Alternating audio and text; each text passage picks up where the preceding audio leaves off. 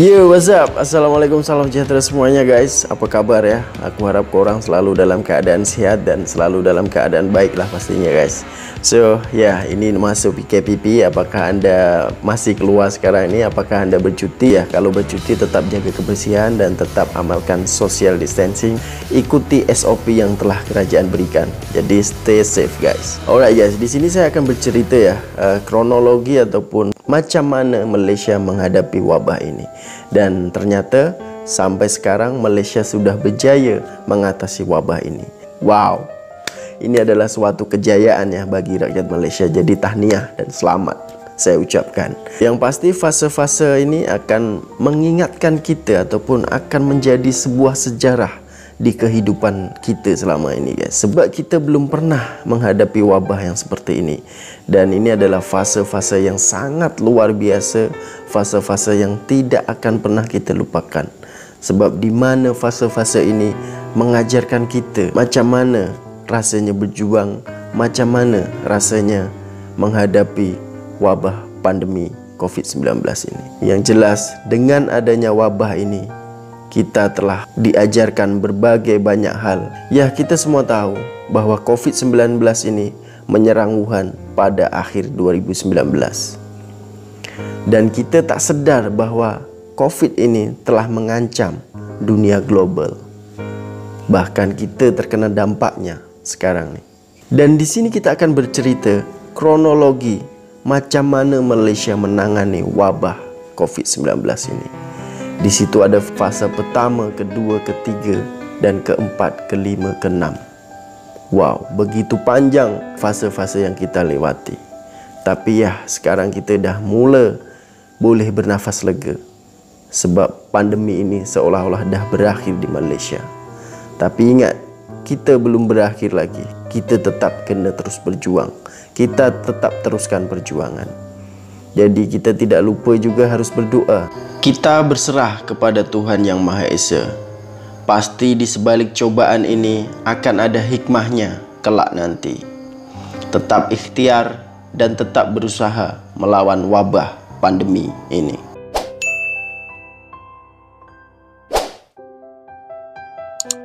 So ya, inilah fase pertama. Pada 16 Mac tahun 2020, pada jam 10 malam, Perdana Menteri Malaysia Tan Sri Muhyiddin Yassin berucap Perdana Menteri mengarahkan PKP dikuatkuasakan pada 18 Mac. Dan pada masa itu rakyat Malaysia sudah mulai panik. Sampai melakukan panic buying sampai rak-rak di supermarket di minimarket kosong semua. Orang pada panik untuk beli dan simpan barang keperluan setiap harinya. Sampai akhirnya roti gardenia pun menjadi viral. Seolah-olah jika kita nampak roti gardenia di rak tu, seolah-olah kita nampak emas kat situ. Bayangkan betapa hebatnya pandemi COVID-19 ini. Yang biasa roti gardenia ini melambat dekat supermarket. Tapi dengan adanya pandemi ini, roti gardenia pun berubah menjadi emas. Sampai lori roti hilang dicuri pada akhir bulan Mac. Dan ini adalah sejarah pertama bahawa kita umat muslim ini dilarang pergi masjid. Bukan hanya kita sebagai muslim, bahkan umat-umat yang lain dilarang beribadah. Betapa kejamnya pandemi ini. Fase kedua ini adalah daripada 1 April sampai ke 14 April. Biasanya jalan-jalan di ibu kota Kuala Lumpur begitu sesak, begitu ramai. Tapi di fase ini tiada satu pun kendaraan yang lalu lalang di jalanan ibu kota Malaysia. Seolah-olah kosong, kedai-kedai, shopping kompleks banyak ditutup dan para pekerja mulai dibiasakan bekerja di rumah disebabkan pejabat ataupun ofis tutup semua. Harga minyak semakin jatuh, ekonomi semakin redup karena dunia global mengalami efek daripada pandemi ini. Fase ketiga yaitu pada 15 April sampai 28 April. Masa ini adalah masa yang tidak pernah kita lupakan sebab ini adalah masa bulan suci Ramadan di mana umat muslim menantikan hari raya. Tapi Sayang kita tak boleh bertarawih dan kita tidak boleh ke bazar Ramadan. Betapa dahsyatnya pandemi ini sampai kita dilarang pergi ke rumah Tuhan. Para pelajar yang terkandas di college, di university mulai dibenarkan pulang dan dihantar sampai ke rumah masing-masing dengan cara berperingkat. Fase keempat yaitu tanggal 29 April sampai ke 12 Mei. Setelah kita menjalani fase ketiga ini, akhirnya kita bisa lihat kurva COVID-19 mulai menurun. Dan ada perkembangan yang positif. Kita dikejutkan pada 1 Mei, Perdana Menteri Malaysia Tan Sri Muhyiddin Yassin mengumumkan bahwa bermula 4 Mei 2020 pelaksanaan PKPB yaitu pada masa ini syarikat-syarikat besar mulai boleh beroperasi seperti biasa untuk meningkatkan perekonomian Malaysia tapi harus dengan SOP yang ditetapkan oleh kerajaan. Tapi pada fasa ini, masyarakat awam tidak dibenarkan untuk balik ke kampung halaman. Fase kelima, iaitu pada tanggal 13 Mei sampai 9 Jun. Pada fase ini, orang semua sudah berbahagia. Orang boleh keluar dan boleh beraktivitas seperti biasanya. Tapi harus selalu taati dan ikuti SOP yang ditetapkan kerajaan harus sentiasa jaga kebersihan dan memakai mask jika Anda keluar. Dan semua sektor perniagaan dibuka kembali dengan syarat mengikuti SOP yang telah kerajaan berikan. Dan sedihnya lagi, pada fasa ini kita hanya dibenarkan merayakan hari raya Aidilfitri cuma dalam masa satu hari, yaitu pada hari pertama saja dan kita hanya bisa video call untuk mengubati rasa rindu kepada family-family yang berada di jauh. Fase keenam yaitu PKPP yaitu 10 Jun sampai 31 Ogos. Dalam tempoh PKPP ini kita dibenarkan ataupun seolah-olah Malaysia ini dilonggarkan.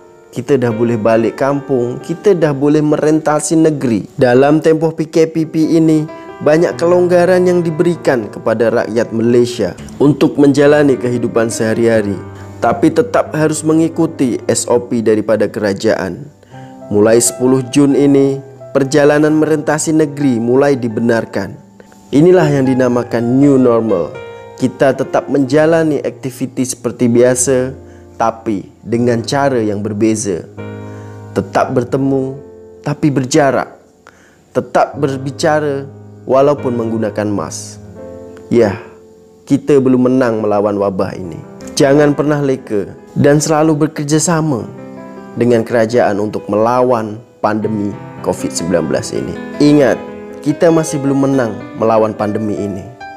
Jadi, harapannya rakyat Malaysia selalu berdisiplin dan selalu menaati SOP yang telah kerajaan tentukan dan bekerja sama untuk melawan pandemi ini.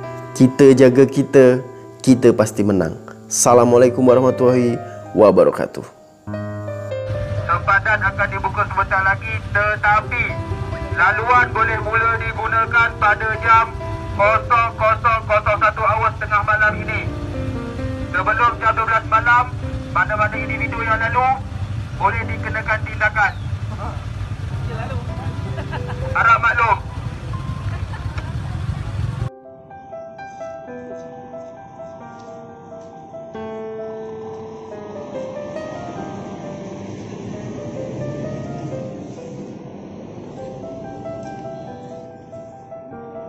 Tu. Kat belah, kat belah lah. Wah. Eh. Pas. Wah, balik kampung.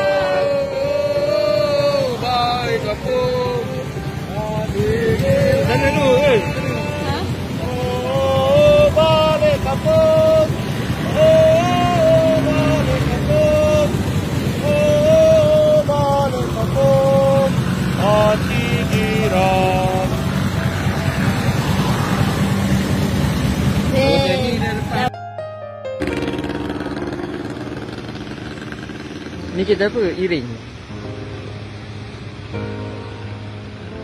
Cik, depan sekali tengok.